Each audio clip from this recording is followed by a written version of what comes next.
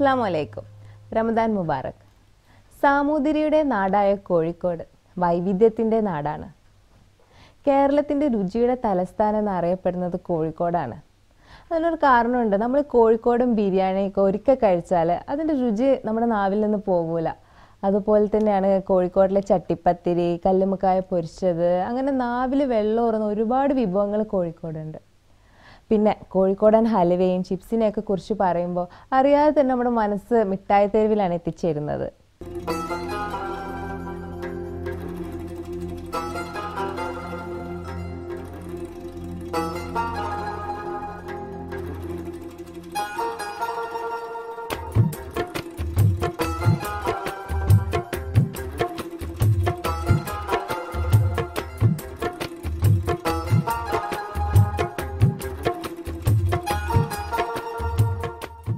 Vasco da Gama വന്നിറങ്ങിയ Kappad beach ഗ്രാമസുന്ദരിയായ കല്ലായിപ്പുഴ അതുപോലെ കോഴിക്കോട് ബീച്ച്.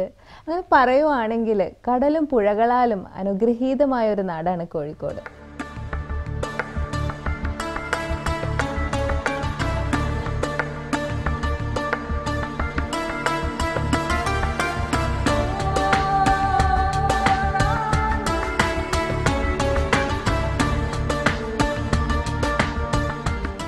മതക്കാർക്കും ഏത് സംസ്കാരക്കാർക്കും ഏത് നാട്ടുകാർക്കും ഒന്നിച്ച് ജീവിക്കാൻ പറ്റിയൊരു നാട്. സുന്ദരികളായ മുസ്ലിം പെൺകൊടികൾ മണവാട്ടിയെ പാടി പുകഴ്ത്തുന്ന ഒപ്പനയുടെ ഈറ്റില്ലമാണ് കോഴിക്കോട്.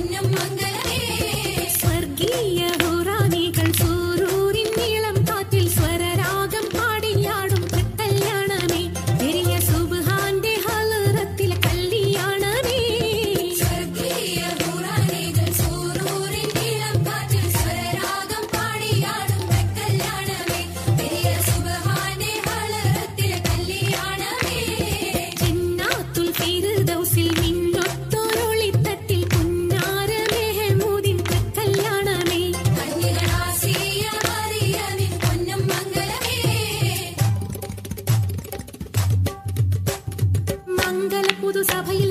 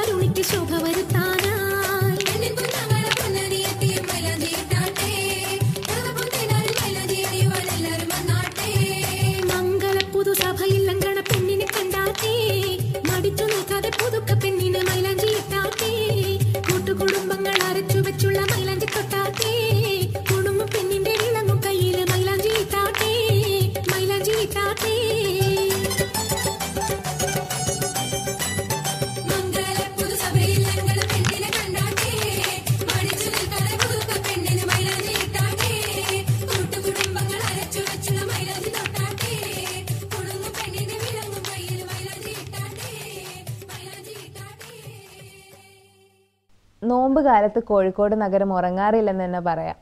കാരണം ആരാധനയ്ക്കായാലും ഭക്ഷണത്തിനായാലും ഏത് സൗകര്യത്തിനായാലും രാത്രി പകലാവുന്ന കാലമാണിത്. നാനാ മതസ്ഥർ സോദരനെ വാഴുന്ന നാട്. അസ്സലാമു അലൈക്കും. വിശുദ്ധിയുടെയും ആത്മസമർപ്പണത്തിന്റെയും പുണ്യദിനങ്ങളിൽ ഒരുപാട് ആളുകൾ നാടിന്റെ ഓർമ്മയിൽ ആ കൂട്ടായ്മയിൽ ഇവിടെ യു എയിൽ ഇഫ്താർ വിരുന്നൊരുക്കുന്നുണ്ട്. ഹൽവയുടെയും ബിരിയാണിയുടെയും മധുര പലഹാരങ്ങൾക്കും പേരുകേട്ട നമ്മുടെ സ്വന്തം കോഴിക്കോടുകാരുടെ കൂടെയാണ് ഇന്നത്തെ എന്റെ ഇഫ്താർ. എന്റെ കൂടെ ഞാൻ നിങ്ങളെയും ഇന്നത്തെ ഇഫ്താർ വിരുന്നിലേക്ക് ക്ഷണിക്കുന്നു.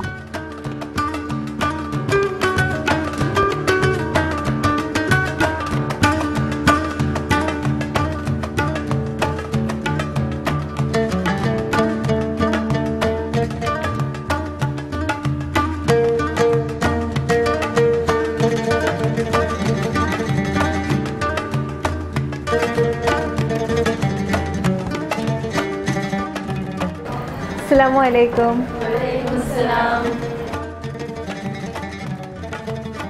പേരെന്താ എല്ലാവരുടെയും? ആ? എങ്ങനെയുണ്ട് നോമ്പൊക്കെ? നിങ്ങൾക്ക് ഇവിടെയാണോ നാട്ടിലാണോ നോമ്പ് തുറ ഇഷ്ടം? ഇവിടെയാ നാട്ടിലോ? നാട്ടിൽ ചിലവർക്ക് ഇവിടെയാ ഇഷ്ടം അല്ലേ?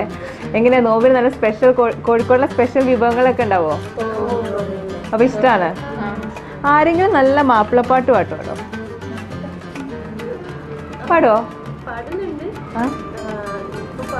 അതെന്തുപറ്റി ഉമ്മ പാട്ട് പാടോ?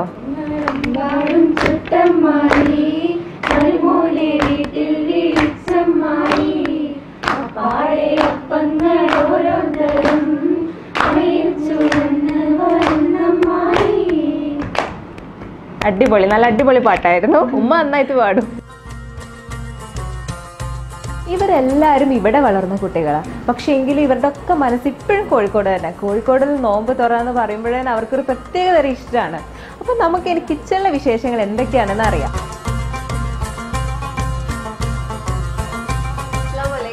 വലൈക്കും സലാം. എന്താണ് വിശേഷം? സുഖം അലഹമില്ല സുനീറ. നാട്ടിൽ കോഴിക്കോട് എവിടെയാണ്? കോഴിക്കോട് കക്കോടി. കക്കോടി. ഉന്നക്കായാണോ ഉണ്ടാക്കുന്നത്? ഉന്നക്കായ. ഉന്നക്കായ എങ്ങനെ ഉണ്ടാക്കും? എപ്പോഴും ഉണ്ടാക്കാറുണ്ടോ? ആ നോമ്പിന് എന്തായാലും നോമ്പിന്റെ സമയത്ത് മാത്രമാണോ നിങ്ങൾ ഉന്നക്കായ? അല്ല അല്ലെങ്കിലും നോമ്പിന് ഒരു സ്പെഷ്യൽ ആയിട്ട് ഇവിടെ വന്നിട്ട് എത്ര കാലായി? ഇവിടെ വന്നിട്ട് പതിനാറ് വർഷമായി നാട്ടിൽ നോമ്പ് കൂട്ടിയിട്ട് ഒരുപാടായോ? ആ നാട്ടിലിപ്പം കുറച്ച് ആയി അഞ്ചാറ് വർഷം മുമ്പ് കൂടിയത് അഞ്ചാറ് വർഷം ഇവിടെയും നാട്ടിലെ നോമ്പിന് വല്ല വ്യത്യാസമുണ്ടോ? ആ, എല്ലാരും കുടുംബക്കാരൊക്കെ ഉണ്ടാവും. ഇവിടെ ആകുമ്പോ കുടുംബക്കാരൊന്നും ഉണ്ടാവില്ല. അല്ലെങ്കിൽ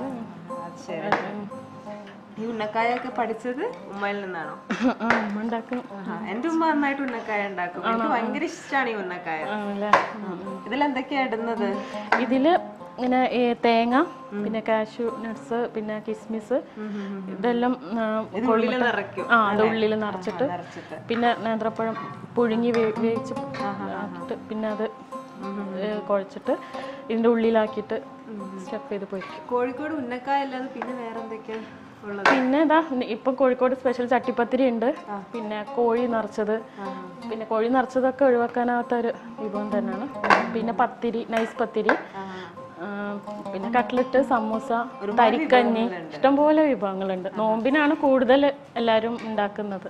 ഇത്താത്ത ഏതിലാണ് ഭയങ്കരമായിട്ട് എക്സ്പേർട്ട് എല്ലാം ആ പലഹാരങ്ങൾ ഉണ്ടാക്കാൻ ഇഷ്ടമാണ് മക്കൾക്കൊക്കെ ഭയങ്കര ഇഷ്ടമായിരിക്കും ആ മക്കൾക്ക് ആ മക്കൾക്ക് ഇഷ്ടമാണ് നോമ്പൊക്കെ എങ്ങനെ പോകുന്നു? ക്ഷീണമുണ്ടോ?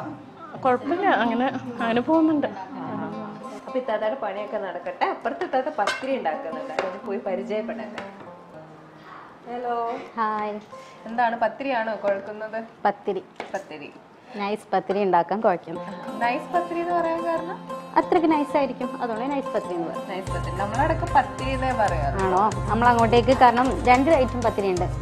കട്ടിപ്പത്തിരി നൈസ് പത്തിരി അതുകൊണ്ട് ഇത് സ്പെഷ്യൽ നോമ്പിന് നൈസ് പത്തിരി ഉണ്ട്. ഇല്ല ഇല്ല. നോമ്പ് മുപ്പത് ദിവസം നമ്മൾ നൈസ് പത്തിരി തന്നെ ഉണ്ടാക്കും.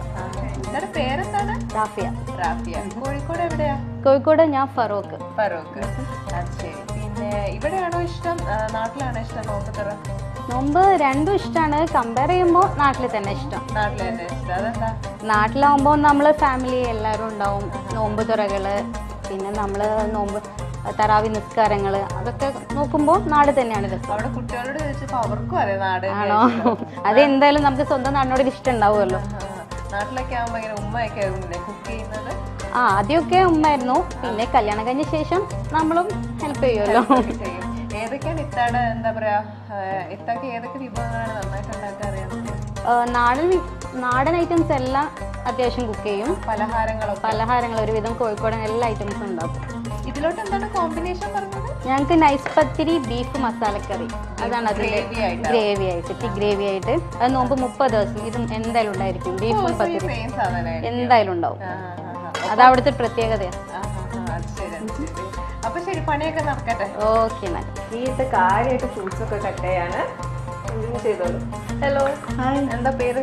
എന്റെ പേര് ജസീറ. ജസീറ. നാട്ടിലെ കോഴിക്കോട്ടിലെ നാട്ടിലെ പയ്യോളി. പയ്യോളി. എന്താണ് ഉണ്ടാക്കുന്നത്? ഇത് കോഴിക്കോട് സ്പെഷ്യൽ ചട്ടിപ്പത്തിരി. ചട്ടിപ്പത്തിരി. ഇത് മധുരമല്ലേ? ആ മധുരത്തിന് അത് ശരി. ഇറച്ചിപ്പത്തിരി നിങ്ങളുടെ നാട്ടിലെ സ്പെഷ്യൽ അല്ല? ആ ഇറച്ചിപ്പത്തിരി ഉണ്ട്. പക്ഷേ ഇന്ന് മധുരത്തിൽ ഉണ്ടാക്കാൻ വിചാരിച്ചു. മധുരത്തിൽ ഉണ്ടാക്കാൻ വിചാരിച്ചു. ഇതൊക്കെ എങ്ങനെ പഠിച്ചത്? പഠിച്ചത് വീട്ടിൽ നിന്ന് നല്ല ഉണ്ടാക്കി കാണും. അങ്ങനെ നോക്കി പഠിച്ചു. എല്ലാ എല്ലാ ദിവസവും ഇത് ഉണ്ടാക്കുമോ എല്ലാ ദിവസവും ഓരോരോ ദിവസം ഓരോരോ ഐറ്റംസ് ഓരോരോ ഐറ്റംസ് കുട്ടികൾക്കൊക്കെ ഭയങ്കര ഇഷ്ടമാണ് ഉമ്മക്കൊക്കെ ഇഷ്ടമാണ്. ആ. ഇതിങ്ങനെ പത്തിരി ഇങ്ങനെ വെച്ചിട്ട് ഇത് ഓരോ പത്തിരി ഉണ്ടാക്കിയിട്ട് വാട്ടിയെടുക്കും. ചപ്പാത്തി പോലെ പരത്തിയിട്ട് മൈദമാവ് എന്നിട്ട് വാട്ടിയെടുത്തിട്ട് ഇങ്ങനെ ഓരോ ലെയറിൽ ഇങ്ങനെ കൂട്ടൊഴിച്ചിട്ട് പാലും മുട്ടയും കരിഞ്ചീരകവും അണ്ടിപ്പരിപ്പും മുന്തിരിയും. മിക്സാക്കിയിട്ട് ഇങ്ങനെ ഒഴിച്ചു കൊടുക്കും. ആ ഒഴിച്ചു കൊടുത്തിട്ട് ചെറിയ തീയിൽ വേവിച്ചെടുക്കും. വേവിച്ചെടുക്കും. ഇവിടെ വന്നിട്ട് ഒരുപാട് വർഷമായോ ഇവിടെ വന്നിട്ട് ഇപ്പോൾ അഞ്ച് വർഷമായി അഞ്ച് വർഷമായി നാട്ടിലൊക്കെ ആവുമ്പോ നാട്ടിൽ അടിപൊളിയല്ലേ എല്ലാരും ഉണ്ട് ഫാമിലി എല്ലാം ഒന്നിച്ച്. ഒരുമിച്ചാണ് നിങ്ങളൊക്കെ താമസിക്കുന്നത്? ആ ഇപ്പൊ ഒരുമിച്ചാണ്. ഒരുമിച്ചാണ്. അപ്പൊ എല്ലാരും കൂടെ ഹസ്ബൻഡിന്റെ വീട്ടിലും പോവും എന്റെ വീട്ടിലും നിൽക്കും ആ. അങ്ങനെ അടുത്തടുത്ത് തന്നെയാണ്. ശരി. ഹസ്ബൻഡും കോഴിക്കോട് തന്നെ. ആ ഹസ്ബൻഡും പയ്യോളി. ആ പയ്യോളെ അടുത്തടുത്ത് തന്നെ അപ്പോൾ അവിടെ നിൽക്കും കുറച്ച് ദിവസം ഇവിടെ നിൽക്കും എന്റെ വീട്ടിൽ നിൽക്കും അങ്ങനെ. നിങ്ങൾ എങ്ങനെ എല്ലാ റമദാനും ഇങ്ങനെ കൂടാറൊക്കെ ഉണ്ടോ? വെള്ളിയാഴ്ച എല്ലാ വെള്ളിയാഴ്ച. നിങ്ങൾക്ക് ഇങ്ങനെ എല്ലാവരും ഒത്തൊരുമിച്ചായിരിക്കും അല്ലേ? അപ്പൊ ഓരോരുത്തരായിരിക്കും ഓരോ വിഭവങ്ങൾ ഉണ്ടാക്കുന്നത്. അതെ അതെ. എല്ലാരും കുറേശ്ശെ ഇങ്ങനെ ഉണ്ടാക്കിയിട്ട്. അത് ശരി അത് ശരി. ഇത് ഇത്താടെ സ്പെഷ്യൽ ആയിരിക്കും അല്ലേ? ആ ആണ്. സ്പെഷ്യലാണ് ആ അത് ശരി. എല്ലാ ഐറ്റംസും ഉണ്ടാക്കും പക്ഷെ ഇതായിരിക്കും കൂടുതൽ അതെ. എല്ലാം ഉണ്ടാക്കും. പിന്നെ മക്കൾക്കെല്ലാം ഹസ്ബൻഡിനെല്ലാം കൂടുതൽ ഇഷ്ടം ഇതായതുകൊണ്ട്. ഇതായതുകൊണ്ട് ഇതുണ്ടാക്കും. അത് ശരി ശരി. ഇത് എന്ത് ചെയ്യുന്നു? ഹൗസ് വൈഫാണോ ആ ഹൗസ് വൈഫാണ് എന്തൊക്കെയാണ് ഹോബീസ് ഹോബീസ് സമയം കിട്ടുമ്പോൾ എല്ലാം ഓരോ വെറൈറ്റി ഇങ്ങനെ കുക്ക് ചെയ്യും. ഹസ്ബൻഡ് ഇഷ്ടപ്പെട്ട വിഭവങ്ങളൊക്കെ ഇങ്ങനെ ഉണ്ടാക്കി കൊടുക്കും. അതെ അതെ.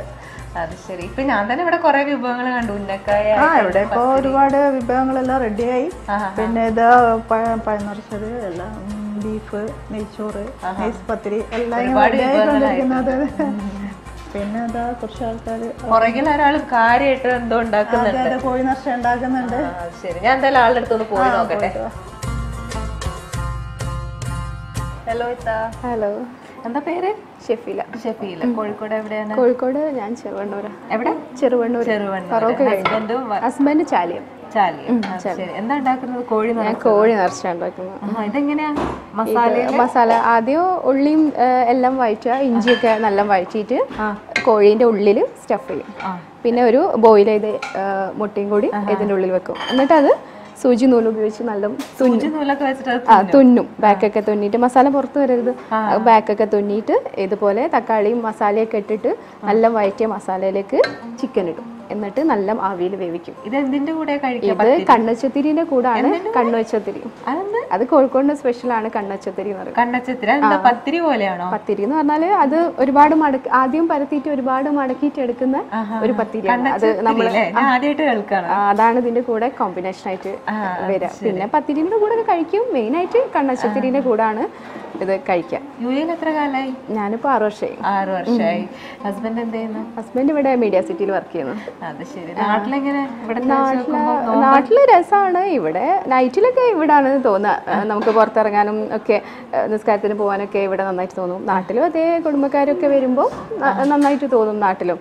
കുക്കിംഗ് ഒക്കെ എങ്ങനെ പഠിച്ചേ കുക്കിംഗ് ഉമ്മ നന്നായിട്ട് ചെയ്യും. അപ്പൊ ഉമ്മാന്റെ അടുത്തും ഹസ്ബൻഡിന്റെ ഉമ്മാന്റെ അടുത്തുനിന്നൊക്കെ ഒരുപാട് പഠിച്ച് ഇപ്പൊ ഇവിടുന്നൊക്കെ ആ എല്ലാം ഉണ്ടാക്കും. ഇപ്പൊ കോമ്പറ്റീഷൻസിനൊക്കെ പോവും അങ്ങനെയൊക്കെ.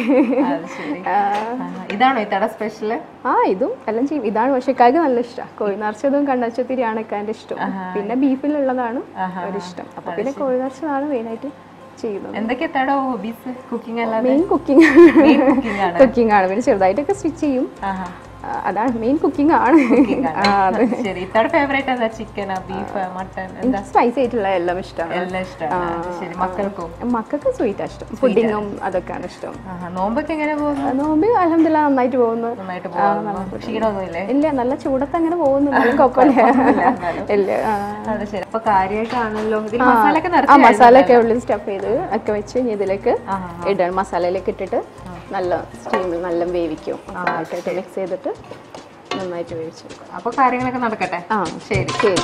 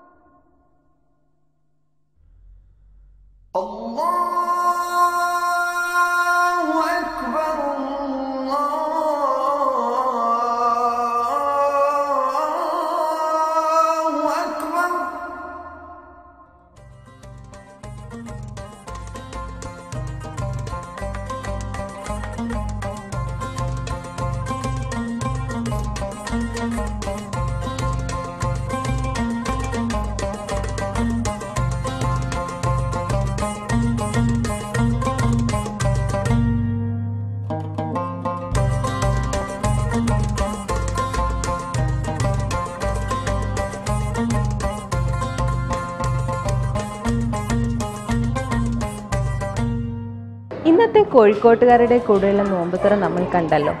ഇതാണ് കോഴിക്കോട്ടിലെ ആൾക്കാർ ഇവിടെ കുട്ടികളാവട്ടെ മുതിർന്നവരാവട്ടെ അവരെല്ലാവരും സൽക്കരിക്കാൻ ഇന്നും മുൻപന്തിയിലാണ്. ഇപ്പോൾ ഇന്ന് ഇഫ്താർ ദിനത്തിൽ ഒരുപാട് വിഭവങ്ങൾ കഴിച്ചു. മുട്ടമാല ഉന്നക്കായി നൈസ് പത്തിരി എനിക്ക് പേര് തന്നെ ഓർമ്മയല്ല. എന്റെ വയറ് മാത്രമല്ല മനസ്സും കൂടെയാണ് നിറഞ്ഞത്. ഈ ഇഫ്താർ ഒരിക്കലും ഞാൻ മറക്കില്ല. അടുത്ത ഇഫ്താറിന് വീണ്ടും നമുക്ക് കണ്ടുമുട്ടാം. അതുവരെ ഇൻഷാല്ല സി യു നെക്സ്റ്റ് വീക്ക്